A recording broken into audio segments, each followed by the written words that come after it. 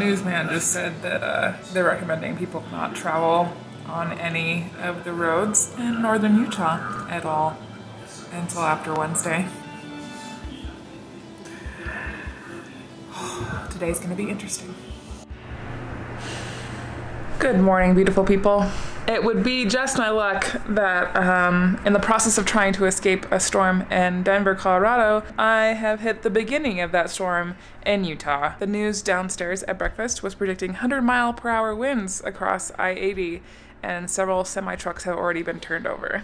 On top of that, Salt Lake City is going to get snow and a lot of rain. So I think that I have uh, found an alternate route that's going to take me across the middle of Utah It'll be fine. Everything will be fine.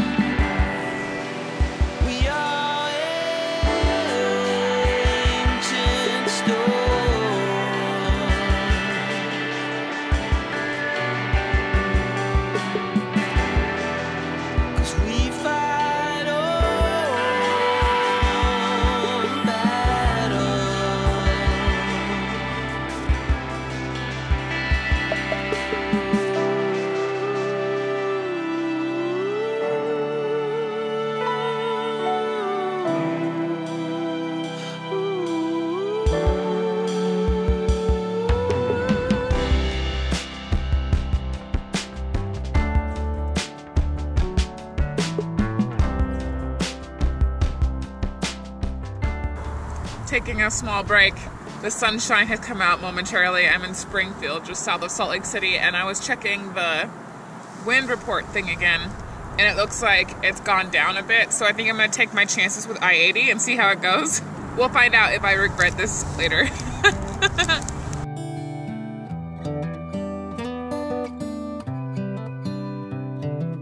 this is a good a day as any start the rebuilding of life.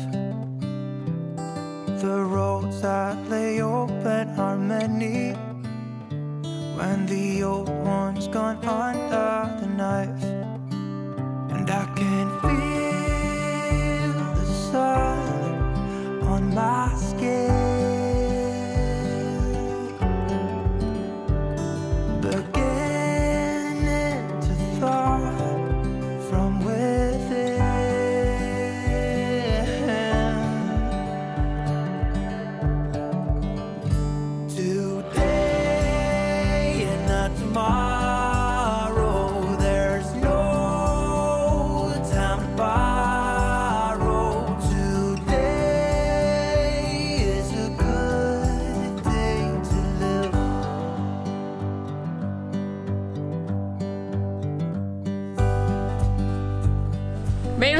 Salt Flats. I will say that was probably like the tamest the wind has ever been on I-80 for me like ever. I'm pretty sure when I crossed I-80 in 2016 on the pilgrimage, the wind was so much worse than that. So counting my blessings that it was like nowhere near what like the news media and the people at the hotel that I was at this morning were trying to make it out to be. I'm sure that it's much, much worse in other sections of northern Utah, but there's about 700 miles between me and home right now, and I just want to be home. I don't know where I'm gonna end up tonight, but we'll find out together. and when I feel the wind on my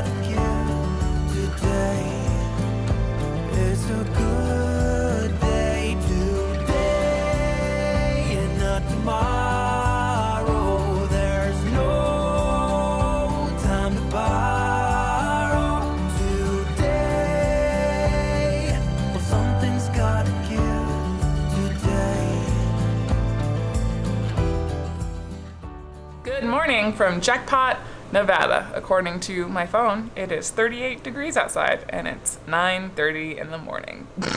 it's fine. Hopefully uh, the weather is as wrong about the temperatures today as it was about the wind yesterday. In theory, I don't I don't think I have any passes to go over today. So hopefully I can avoid any snow or high elevations where it will get colder than what it's already predicted to be. Oh, I have 605 miles to do today. I'm doing my best to get it all done today so that I have a good whole day to recuperate before I have to go uh, to work and work an eight hour shift on Friday. So fingers crossed I can get my butt all the way to Portland uh, before two o'clock in the morning. That would be that would be nice.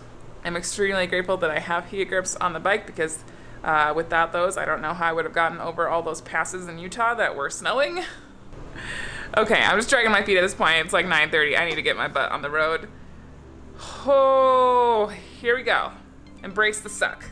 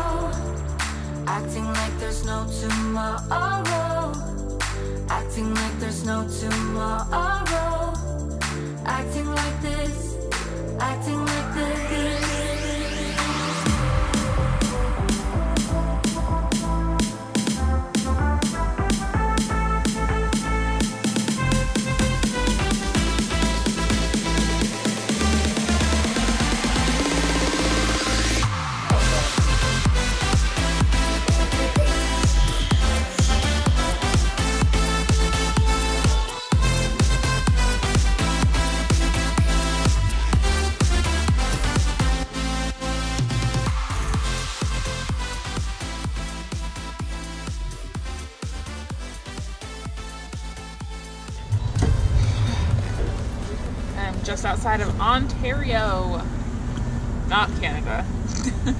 uh, a little bit, about about 380 miles to go. Thankfully, the sunshine has come out a little bit more.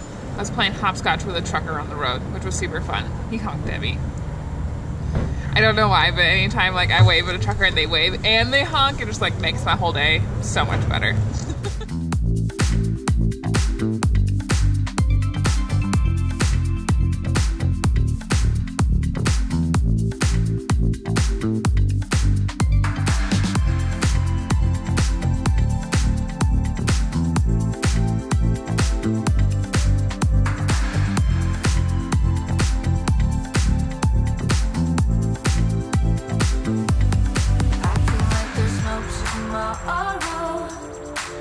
Acting like there's no tomorrow.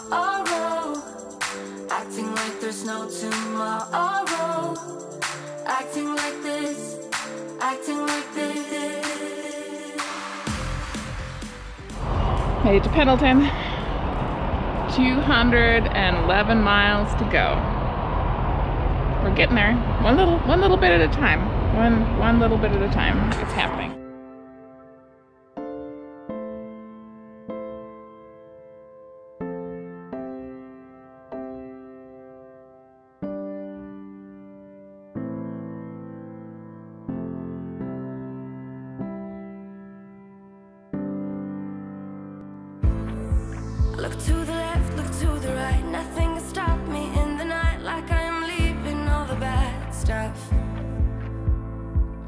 Trying to remain so strong. I know it's good if I'm alone.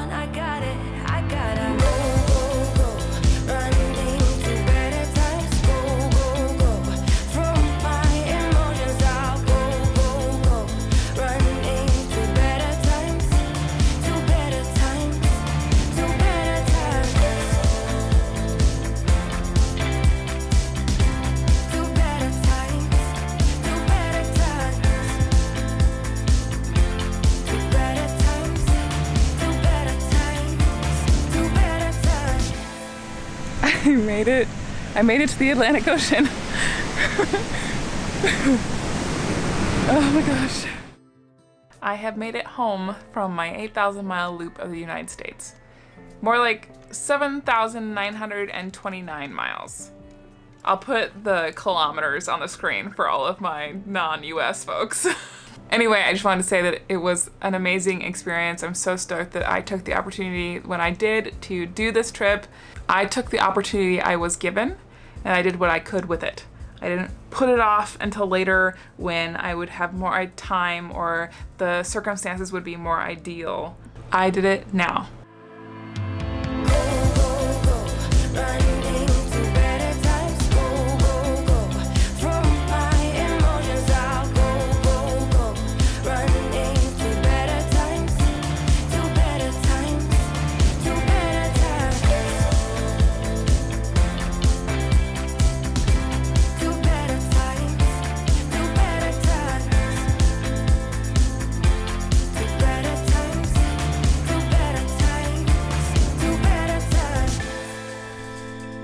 So my motto is that you do what you can with the time that you have now. If it matters enough, you'll make it work with what you got. I also want to give a huge, huge thank you here to all of my patrons, everybody who donated on Ko-Fi, everybody who sent money uh, during the live streams leading up to the trip. This trip would not have been possible without all of your support and encouragement. Just thank you.